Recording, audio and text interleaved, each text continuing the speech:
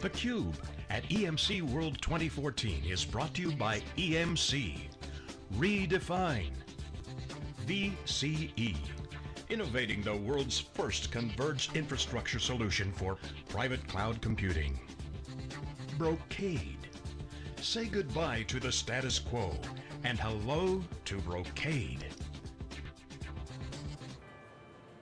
We're back, welcome to Las Vegas everybody. This is theCUBE and we're live here at EMC World 2014. My name is Dave Vellante, uh, one of the founders at wikibon.org and SiliconANGLE's Cube is a live mobile studio. We go out to the events, we extract the signal from the noise, we're, we're double clicking, drilling down into, into partnerships. A big part of EMC World is customers, but also business partners that come in, innovate together, go to market together. You know, you can't, you can't do it alone in this business. You know, Joe Tucci talks a lot about uh, uh, co-opetition, so you got you know uh, strange bedfellows like EMC and Oracle doing stuff together, and then you've got uh, other service provider partners and, and consultancies uh, like Capgemini. So Terry Breen is here, he's the Senior Vice President of Global Strategic Sales and Partners at EMC, and he's joined by Charlie Li, to my right, Charlie's in the middle, who's the Senior Vice President and the Head of Global Channels and Partners at Capgemini. Gentlemen, welcome to theCUBE. Thank Good you. to be here. Good to be here. Thanks, Dave. So Charlie, let me start with you. Um, EMC World, uh, big show, a lot of customers here. You guys are a, a, a, top consultancy, systems integrator, really where all the, the, the, the, the rubber meets the road when it comes to value is really what you guys are all about, building solutions. Uh, talk about EMC World and what, what, it, what it means to you guys. Well, EMC World has been phenomenal for us. Uh, last year we uh, actually uh, worked with uh, Terry's team to develop some big bets between the two companies. Uh, we decided that we were going to make several strategic plays around all the federations of EMC. Uh, around the business data lake with Pivotal, orchestration, uh, cloud orchestration with VMware, and then of course we also had a major play around uh, Latin America through Brazil. We built a joint business unit. And that strategy was actually laid last year at this event. And 12 months later, when we fast forward this, we, we realized the, the vast value and, and the great execution we had over the last 12 months. So, so Terry, Terry, talk about, um, the, let's go back a little bit, because I remember when you guys announced the 2013, the, the deal in Brazil. Um, what was the impetus? Why Brazil? Uh, how, and how's it been going? Well, Brazil was, was fantastic because we wanted to, not naturally a large opportunity, uh, but when we look at Brazil, Cap was trying to get in there in a big way. We were, Cap got involved in an investment in a new company. Uh, they invited us to join them, so actually we have a venture. It's a joint venture between the, uh, the two companies. Uh, we're, we're attacking the market from a financial service perspective, from an oil, gas, natural resources. And so this is a, a you know, a venture between uh, CAP and, and, EMC that we're uh, about 18 months uh, under our belt right now. So the impetus was opportunity. You, you go after it jointly, you sort of de-risk uh, some of the opportunity as well. Um, and so, uh, what's the uptake been? Well, I think one of the things that's great about the joint business unit that we built is that our ability to transform the clients, right? As Brazil is really going from kind of the first generation, many of the companies are actually trying to jump to the latest generation without having to go through the second generation, which is moving to the cloud era. So one of the things that we've been able to do in that market is really work together to transform our clients as Brazil is getting ready for the World Cup and the Olympics to really join the latest generation, the greatest generation, the cloud era. And all the solutions that we built together, co-innovated together, has really helped many of our clients there really realize that the, the cloud vision. So can I, yeah, can I add one thing on that? Yeah. Because you look at the impetus of it, you had, you had a company by the name of CPM Braxis, which was a Brazilian-based, built uh, re reseller, SI managed services company. Interestingly, CAP and EMC at the same time were both looking at that company. And then eventually, you know, uh, CAP took an ownership uh, view of the company and then we came in as an investor. So what it was, it's just serendipitous that we were all looking at the same company at the same time to expand both of our businesses in the same geography. All right, now Charlie, talk a little bit about, uh, we were talking off camera about the, the Federation, so it's not just an EMC partnership. Uh, um, the Federation is fascinating to, me. I mean, it's, it's you know, so many companies, you've seen, we had Geoffrey Moore on last week, and, and he was talking about crossing the chasm, of course. It seems that this is a, a brilliant uh, architecture that Tucci and team have set up to essentially navigate you know, through the, the chasm and identify opportunities. But sometimes it's probably hard for a partner to figure out, okay, I'm a partner with this company and that company and that company. You, you recently, let's start there, you, you, today I guess you won an award, right? The, the Federation right. Award, what was that all about? So we won the Federation uh, Award, Partner of the Year Award, and I think it really speaks to the fact that we work with the entire Federation. I mean, I, Capgemini was one of the first SIs to embrace the Federation message.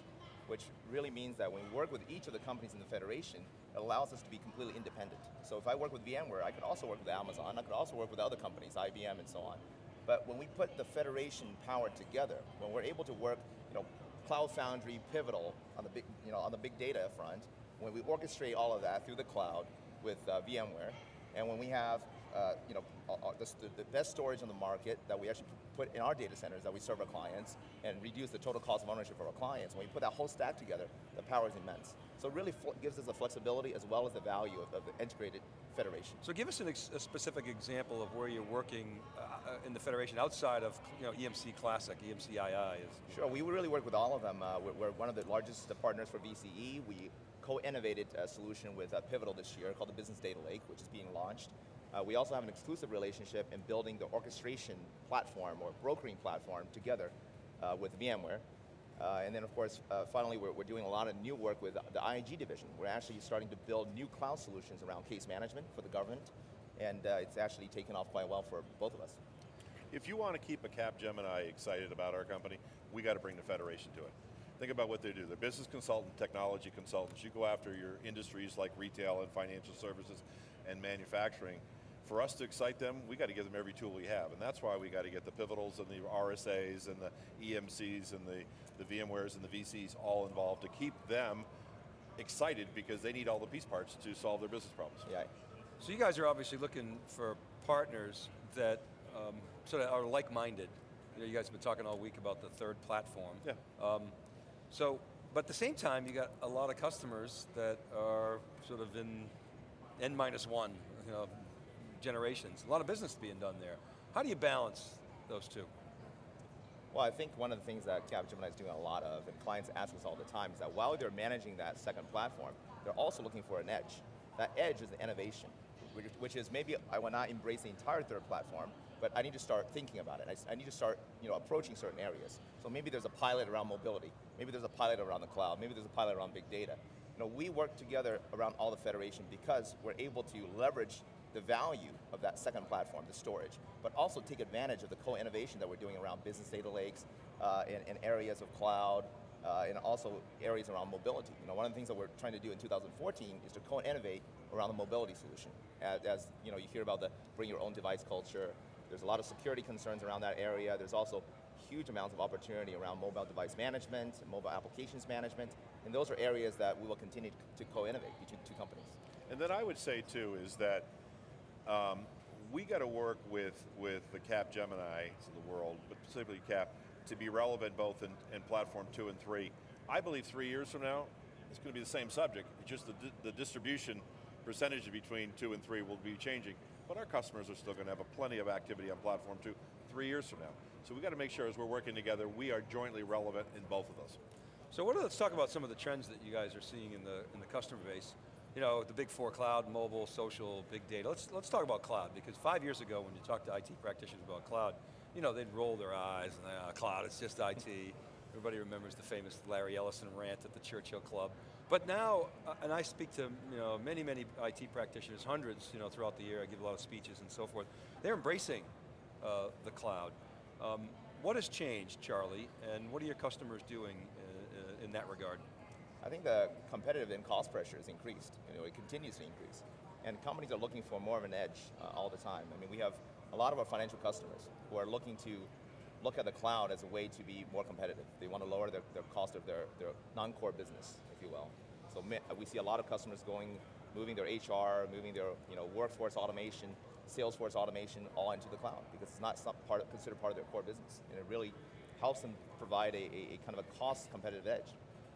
Uh, Terry, I, let me follow up with you on that because around that time, when everybody was rolling their eyes, um, you guys had a big, big focus on private cloud, mm -hmm. and that's evolving. Mm -hmm. um, talk about that a little bit. Well, obviously, we, we came at it directly, uh, private cloud. We actually really see it in three areas. We got private, we got hybrid, we got public. We actually need to play in all three. You know, the activity is, is there's still a lot of public cloud activity out there. We understand a different price point, different economics on that. So we, as a company, we really need to play in all three of them.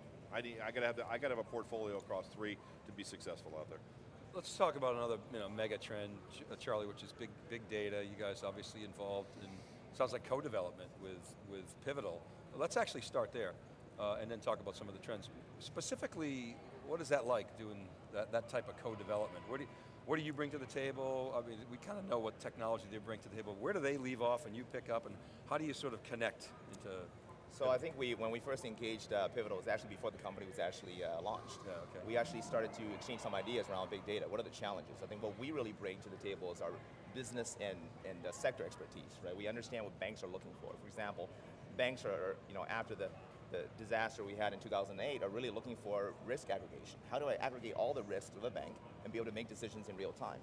Well, that type of scenario requires a deep understanding of the business uh, of the banks. And uh, for us to, I think the, the, main thing is that we were able to bring various business cases or use cases or new business models that would be valuable to our clients if the technology would be able to support it. So while engaging with Pivotal, we were able to give them a lot of insight on how the technology should be designed to tackle real world problems.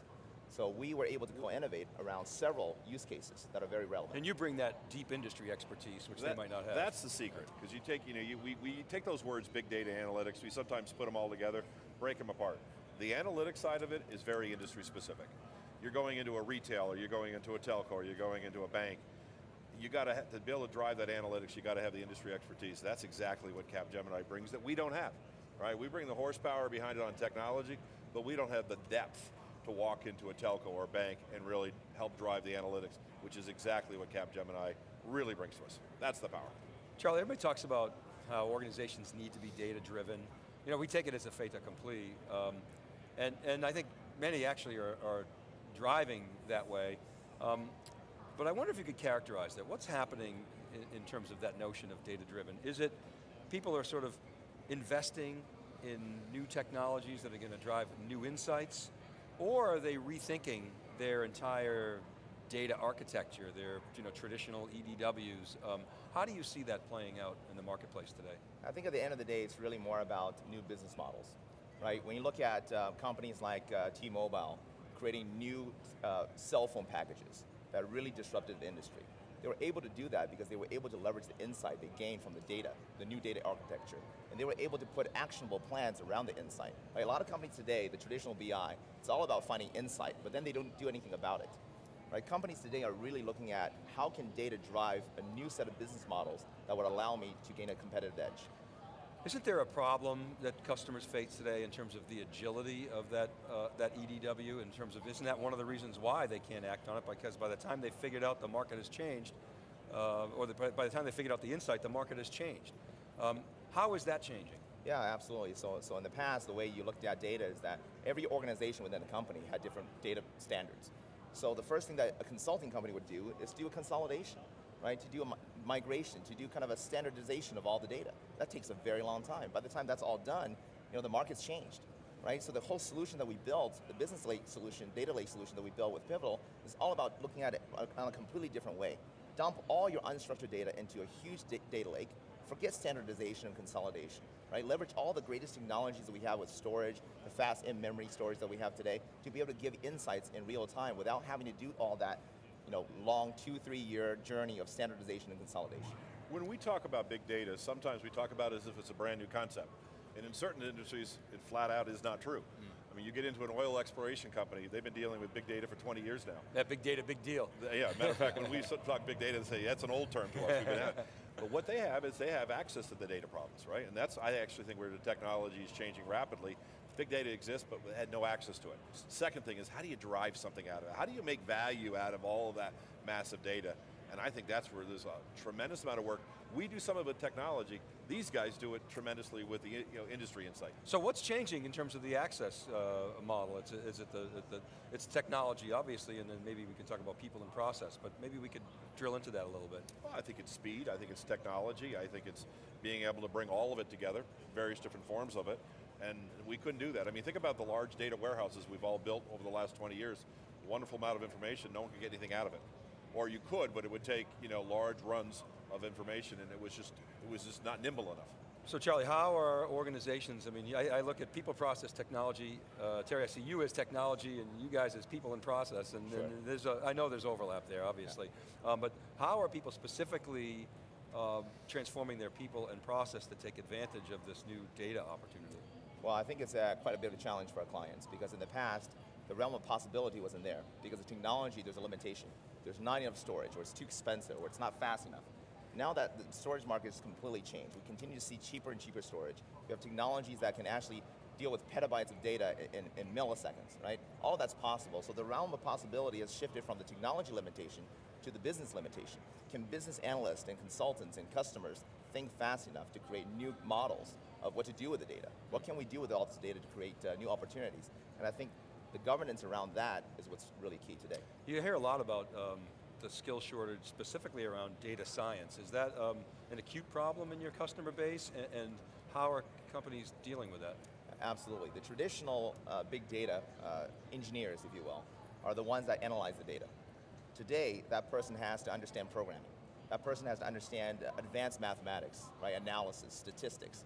When you combine all of those skill sets together, it, it becomes kind of a superhuman that's very difficult to find.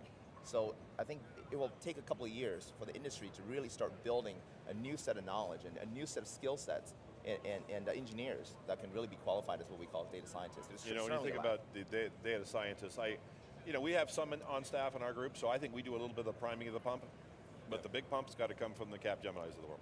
Yeah, you guys have some educational programs. You know, I That's saw right. Tom Clancy in the flight out That's here. Right. All we can do is prime the pump. That's where the horsepower's got to come from. Last question. Um, I'm going to ask each of you what you look for in, in, in partners. So I'll start, Terry, with you. Uh, as a technology company, large technology and, and services company, what do you look for in a, in a partner? I look for a couple things. I look for uh, executive executive uh, connections. I'll tell you, with CAP, we, we talk weekly, monthly. We have QBRs, quarterly business reviews.